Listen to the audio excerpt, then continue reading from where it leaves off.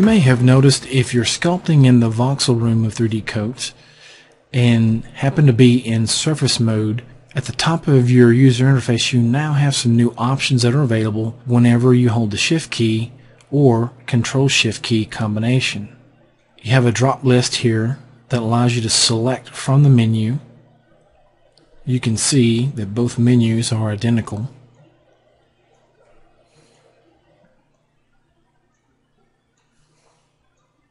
You have these new options that not only allow you to smooth, but you have a more powerful smoothing algorithm as well as relax, tangent smoothing, then you have a number of tools that are not directly a smoothing function, but they are similar or have a smoothing type of effect. So the focus of this is based off of Live Clay and its development. And these are all located again in surface mode only. With that being said, here in Live Clay you have new tangent smoothing. You also have clean clay which basically takes some of the other smoothing functions and tries to consolidate them by allowing you to choose from a list here in the tool options panel and you could also set the amount of detail when you're smoothing so you have reduce decimate reconstruct and average so this is essentially the same as relax so instead of going through this I'll go ahead and try to demonstrate these through this new list that we have to better demonstrate, I'm going to hit the 4 key to turn wireframe on. And we'll zoom in a little bit. And as you can see, I have an area that's relatively low poly and an area that's uh, quite high. And there's a good deal of contrast in between the two. So let's hold the shift key and I'll choose standard smoothing to start off with. As you can see, it's essentially just smoothing the shape. And you may find sometimes if you're working on a very dense mesh that the standard smoothing does not provide as intense a smoothing effect as you may want even with the mount turned all the way up. So the next option is powerful smoothing. And when you hover over this, you'll see a tooltip that explains it's actually doing three different functions simultaneously. Not only is it smoothing the shape, but it's performing local decimation and topological refinement. So let's go ahead and choose that. Hold the shift key and you can see how that works. I'm going to increase my brush size here. And it's more evident. The greater the brush size, the more it's decimating. You can see it's, it's quite powerful uh, in the way that it's smoothing. So this may be what you want. You could also choose this as your default type when you hold the shift key and then with control shift you could choose something like tangent smoothing which allows you to apply more subtle smoothing when you need it for example tangent smoothing will essentially try to keep the shape but it will try to optimize or refine the topology. So let's go ahead and choose tangent smoothing. I'm sorry, I'll leave powerful smoothing and then with tangent smoothing chosen on control shift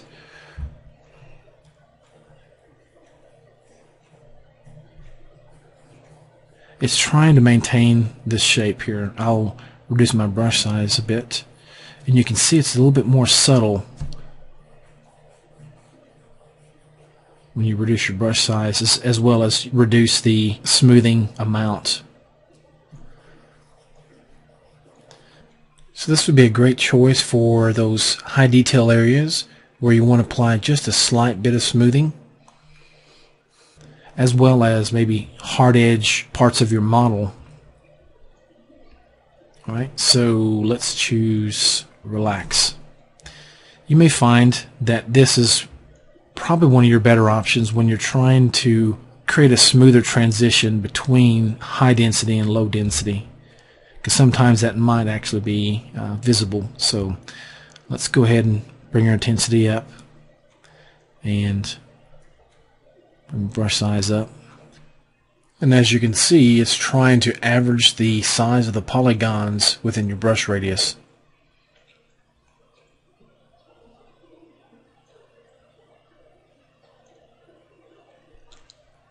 Decimate will perform a similar function in that it will allow us to smooth the transition between high poly and low poly areas of our mesh, but it will do it in a different way. It will reduce the areas where 3D Coat doesn't feel it needs to, such as flat areas and so on, and it will provide a higher level of density in the areas where it deems that it is needed. So let's go ahead and look at that. Again, it creates a nice subtle transition between low poly and high poly. And if you'll notice, this is an especially good brush to use just like Tangent Smooth if you want to maintain the shape but kind of optimize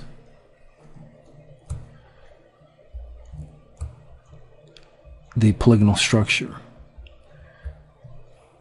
So let me go ahead and point out here. You can see it's pretty dramatic here in the low polygon areas, but not so dramatic here. Okay, so bring the brush size down. Now let's look at reduction. This is essentially the same as using clean clay with reduce and also it's almost the reverse of live clay. Live clay will dynamically increase the tessellation and it will also sculpt at the same time unless you bring the depth value down to zero which it is at this point in time so as I brush you can see it tessellating if I bring my brush size up you'll see it's not tessellating as much. When I bring my brush size down, it tessellates more. Okay, so you can see how that works. So with that in mind, reduce will do just the opposite. It's going to decrease the number of polygons under your brush and the smaller the brush size, the more detail it will leave behind the larger the brush, the more effect it's going to have, the more reduction is going to take place. So extra detail or add detail is the same as using live clay with no depth. Okay, so bring your brush size down. Extra detail, I'm going to hold the shift key, and you can tessellate on the fly the same way. And then with the control shift option, I'm going to choose reduce. So with a very small brush, I can add extra tessellation where I need it. For example, maybe like the eyes where you want to apply some really fine wrinkles and so on. But maybe around the cheek area, you want to go in and hold a control shift key and actually perform some reduction.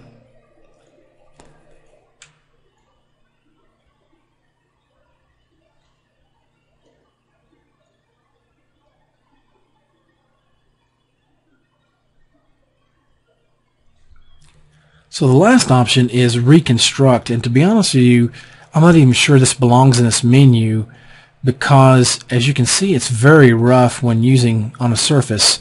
Now it's very effective if you're wanting to eat away at very small thin areas just as smoothing would do when you're in voxel mode. But apart from that you probably won't find too many uses for this particular tool. Nevertheless, all these new additions should add some speed and efficiency to your overall sculpting workflow in 3D Coat. So I hope it helps, and thank you for watching.